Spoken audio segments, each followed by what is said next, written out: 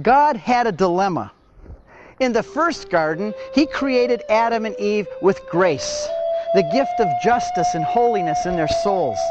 But Adam and Eve made a tragic choice. They chose to disobey God, and in so doing brought sin into that garden paradise, and the grace was lost. Now, God was faced with two obvious choices.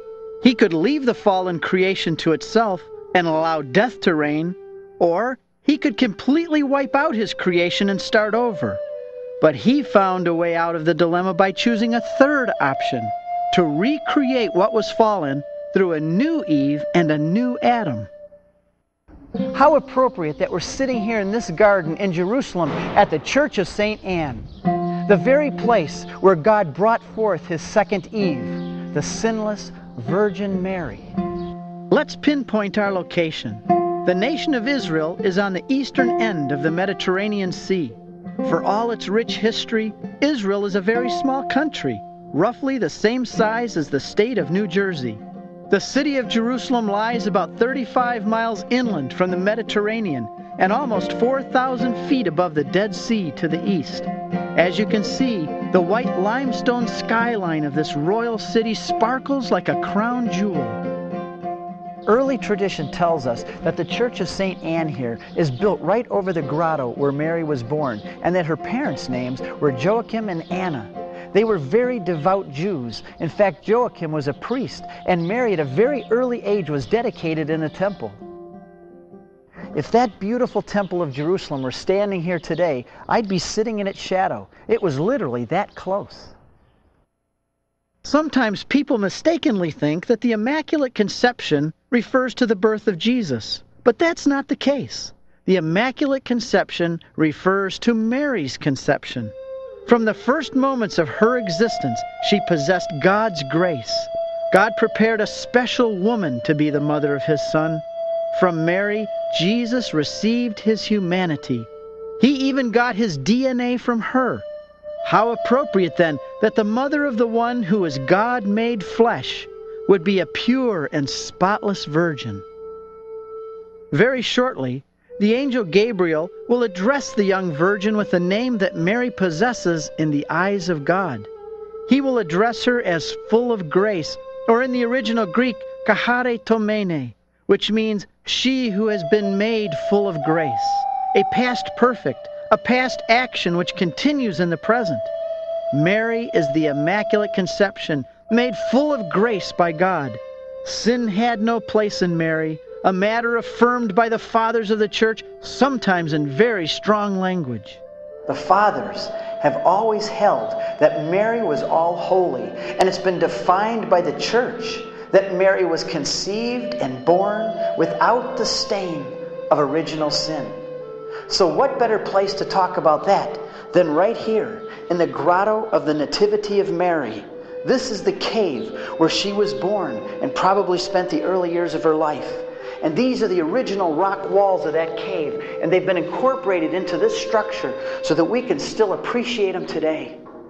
For centuries, Christians have come to this site to venerate and to celebrate the birth of Our Lady, the mother of our Redeemer. Christians believe that the whole human race has been affected by sin and that everyone needs salvation in some way. So, what about the Virgin Mary? Luke's gospel highlights Mary's song, the Magnificat, in which Mary declares that God is her Savior. But this raises an interesting question. If Mary was conceived without sin, then why did she need a Savior? Let's think about it this way. There are two ways to be saved from a muddy pit. You could be pulled out and cleaned up. or you could be prevented from falling into the pit in the first place. Both situations require a Savior. By a singular privilege of God and through the merits of her Son, Mary was prevented from falling into the muddy pit. Sin had no place in her. It wasn't until 1854 that Pope Pius IX proclaimed the dogma of the Immaculate Conception of Mary. Why did it take 19 centuries to develop and define this doctrine? It takes time to understand complex things, and not everything Jesus revealed to us is completely explicit. All the truth that he revealed to his apostles was entrusted to the church.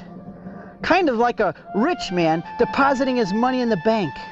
And even though the deposit of faith was complete at the death of the last apostle, it remains for the church to gradually understand it through the course of the centuries. But what about the Bible? The truths that Jesus revealed are certainly in here. Why can't we just read it and understand these profound truths immediately and exhaustively? The Bible was never intended to be a systematic theology book with everything cut and dried and put into clean categories to make it easy for us. In fact, doctrines have to be developed over time. For example, the Trinity. We have no record of the word Trinity being used until around the year 180. And it took centuries of hammering it out in church councils to carefully determine and define the mystery of the Trinity.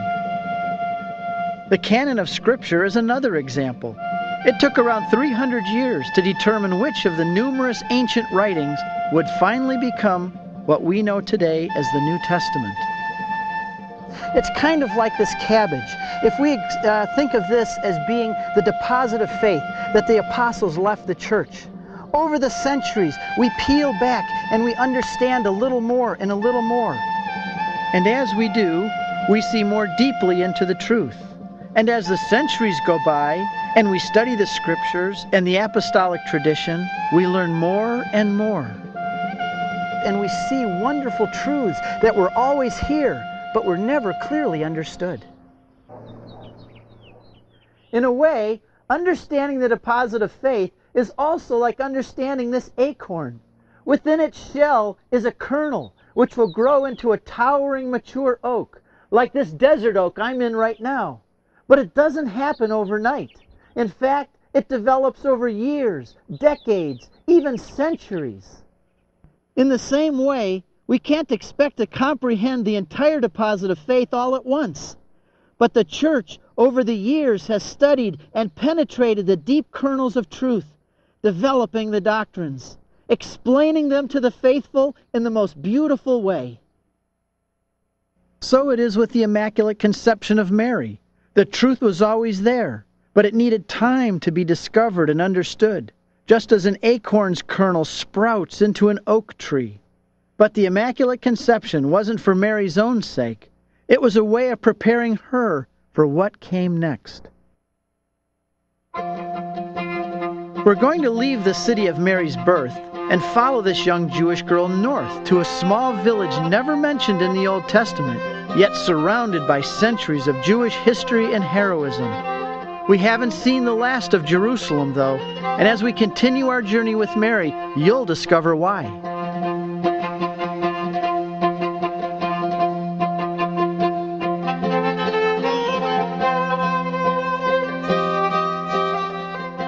This enormous church is the largest basilica in the whole Middle East.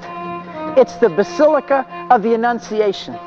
It stands here as a memorial to a very young woman and a very small word. The young woman's name was Mary, and the very small word she spoke was yes. The Basilica of the Annunciation is located in Nazareth, about 65 miles north of Jerusalem as the crow flies. It probably took Mary three to four days to get there, and it wouldn't have been an easy trip. But God brought her safely to Nazareth to fulfill a very special purpose. Girls married younger in those days than they do today, sometimes as early as 14 or 15 years old. It's believed that Mary was a very young teenager when she became betrothed to Joseph. Today, we often use the word betrothed simply to mean engaged. But to the ancient Jews, betrothal was a legal term describing the period of time in which a couple was promised to one another before sharing a home together.